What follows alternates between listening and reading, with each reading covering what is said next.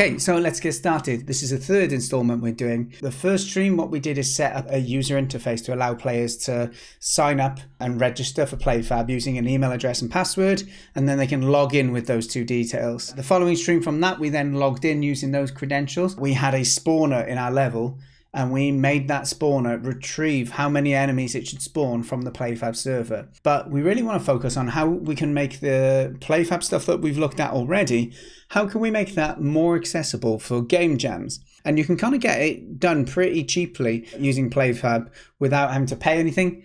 So a lot of the kind of heavy lifting has been done for you, and we're going to utilize more of that today by having a look at how can we log into PlayFab then without the user having to sign up. The good news is it's pretty straightforward and you could use this, what we're going to learn today, you could use this in any project really. So I've got myself open the project that we did last time. And just to remind ourselves, as I said, we, we made it so that it would give you a login screen. But generally speaking, you would log in, it would then send a message to the PlayFab API saying, hey, here's the user details of someone who's trying to log in. And then it would authenticate it and send a message back saying, yeah, that is fine. And once we get that message back, we load the next level. So instead of having this sign up process, we're going to go straight to just having an account made automatically for the player, make a random ID for them, and then we will just check do they already have an account? Let's have a look exactly what we're going to do then. So let me go ahead and open the user interface quickly just so we can have a nice refresh and we know exactly where we are. So if i go to the sign up widget here this was put onto our main widget which is our playfab login widget i think. We effectively made each of those buttons call a function. So you can see it gets our game instance casts it to our custom PlayFab game instance that we made, and then it calls the sign up function. So I'm going to make my own kind of custom event. Try to log in user. And what we'll do is right at the start of the game, we can go ahead and call that. So event init happens, it's kind of like you begin play almost of the game instance. You can think of it like that at least. And we're going to go ahead and call that auto login user like that. Over here, we have our set playfab settings. So if I open this up, there's that same code. Let's go back to our playfab game instance. We've got this function called auto login user, and we're going to start actually doing something with this. The name of the function that we're calling within the playfab API is something called login with custom ID. So let's move this bit up nice and clear away from the rest because we don't really need to concern ourselves with the rest for now. So the first thing we're going to do then is we're going to uh, think about the situation is it the first time they're logging in or not? Let's start with creating a save game for them, shall we? So create save game object. So let's go ahead, let's go to our Content Explorer, and I'm going to go ahead and create a new blueprint. And this time we're going to try and derive it from the save game class. I'm going to open that up, and this is where we can add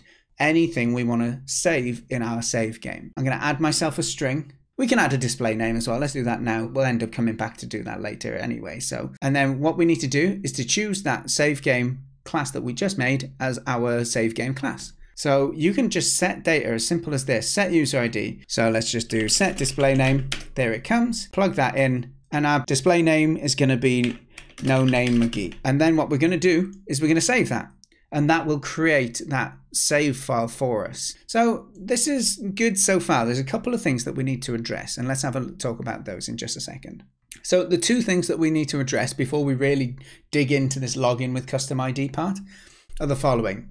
First off, we used a random number here, right? That's problem number one. Remember, as I said, this needs to be a unique different number. At the moment, we're creating a save game no matter what. We want to check, do they already have a save game? Because if they do, we're going to load from it. So let's deal with those two problems. We want to use a random ID for the player. We're just going to right click and we want to create a GUID, I'm going to call them, okay? Rather than saying GUID all the time. And there we go. It will just create one for us. We're going to store it as a string. Okay, so that was the first of our problems. So let's go ahead and think about how can we manage the case if they've already logged in once. There's a function in here called load game. So let's go ahead and type in load game. So let's go ahead, we'll control drag these out and then we'll plug these in. If the save game exists, we're going to load from it. If not, we're going to go ahead and create the save game. So this section down here is going to be create a new save game.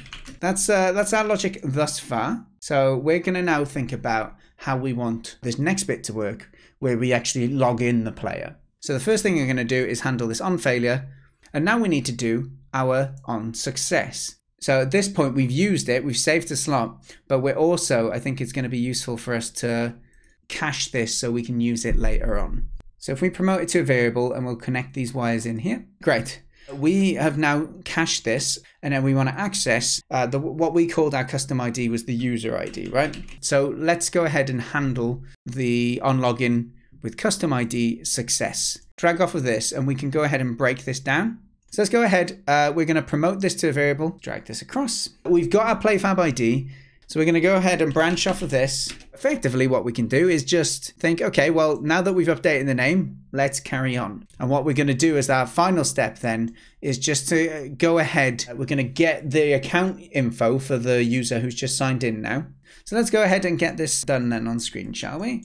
Like so and we want this to uh, meet up with it. Then we're going to follow the same suit as always. Our on failure, we're just going to create an event here, create an event. We're going to set it to be our on fail event. So we're going to just do one thing then to finish, which is just amalgamate or collect that information so that we can print it out to the screen to see what what's actually happening. The next one we want to probably display would be the display name. So there we go. Okay, so we've got this. I should probably tidy this up a little bit just so the, uh, like put some spacing in. And then we'll print that to the screen and then we're done. So before we run it, let's go and have a, a look at our account, shall we? I'm going to go to the level blueprint and I'm going to just get rid of this bit. Okay, so hopefully now when I press play, we're not going to see that much. I give you that heads up. And we can check locally to see if the save file was made. So let's go ahead and do that. Excellent. So this is what we got out of it. So there we go. We've got this defaulto. We actually got to this stage without the user having to even know that it happened. I literally just pressed play in my game. If we go to my game, I'm just in a level. You know, they haven't got a clue what, what was going on once I've done that. So uh, if I was to go into the folder where my project is, you can now see this this file called playfab login save. Let's go and see what happens. Let's do a little change so we know which branch is kind of coming into. And also I'm interested in knowing what this GUID is as well. This is when we make a, a, a new, when we have to create a new save file, sorry. We're going to print this out just so we're aware of it. So let me just uh, change this to an append quickly so it's a little bit cleaner for us. We'll take the user ID. We're just going to say new uh, save user ID equals, and then it'll print that out for us. So let's hook these up. I know it's a little bit messy now, but let's not rearrange everything. I'm sure you can work out what I've done there. It's not too much of a mess. If anything, it's mildly symmetrical, which is pleasing. We've gone ahead and done that, and then we'll do it up here as well. Let's think what's going to happen if I press play again now. What should happen is it should go ahead and say, hey, they do have a save file, and so it should load the save file, and it should print the user ID, and then it will log in and it will print out the summary of all the information. So let's go ahead and do that. You can see I've logged in and it's got the exact same information again. My name is Defaulto, my PlayFab ID is the same, my login ID, uh, my player ID is the same. Let's uh, have a look at where this information shows on PlayFab then. So let me open up this Defaulto account. This gives us information about those. And then if I was to scroll down to the bottom, so on the bottom of this section, this is where we've got our master player account information. So this is your that custom ID that we used to create an account with. But you'll notice that is different to their player ID. The final thing, I've alluded to it once or twice already, but just to, to point out, you can link accounts. This is that general flow that we wanted to go through then. Hopefully, we've learned something new today, ladies and gentlemen. Today, we've gone ahead then and we've learned how we can create a really kind of simple system for your players to log into PlayFab without them knowing about it. And one of our main incentives to do this was to reduce the hassle and the fuss for players. And that's going to be a really important for us if we're trying to get players to play our game rather than quit our game. But yeah, hopefully it's been good. So we are done for the day.